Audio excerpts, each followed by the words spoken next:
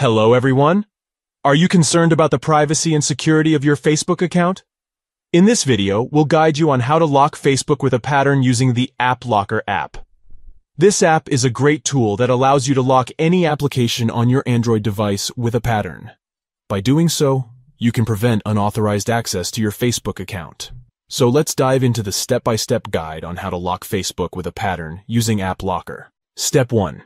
Firstly, open the Play Store on your Android device. Then search for the App Locker app and install it. Once it's installed, tap on Open to launch the app.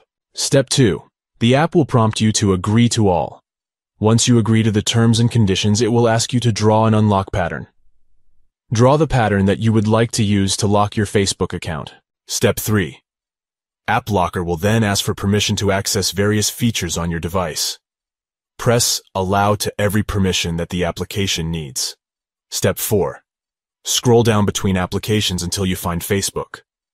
Tap on the lock icon next to it. Step 5. After tapping on the lock icon, a new window will appear. Tap on Permit to grant AppLocker permission to lock your Facebook application. Congratulations! You have now successfully locked your Facebook account with a pattern using the AppLocker app. Whenever you open Facebook, it will ask you to draw the pattern that you set up earlier. By using AppLocker, you have taken a great step towards securing your Facebook account.